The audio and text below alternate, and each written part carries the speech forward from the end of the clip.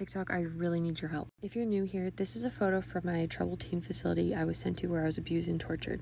Um, this is the bucket they would make girls go to the bathroom in, and there's the toilet paper. CPS investigated them for this bucket, and I need to know if any medical professional, any psychology, anybody has ever heard of this and if this is a legitimate thing. So the owner said to CPS, since we deal with sexual abuse victims, a very common symptom is a fixation with their bowels and bladder as well as genitalia.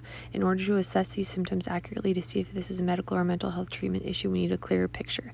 Even though the bucket has rarely been used, it is an effective assessment tool. Therefore, I would like to keep this assessment tool but change it to a portable commode. TTS will use portable commode only to be used to assess gastrointestinal or genital urinary health of a client if no other means have been effective. The portable commode will be cleaned by the client after each use the same way the toilets are cleaned. Wearing gloves, the client will dump the contents into the toilet and then clean and disinfect it immediately. Okay, is this a legitimate treatment thing? Is this ever used anywhere? This is a nurse who said this. I need to know.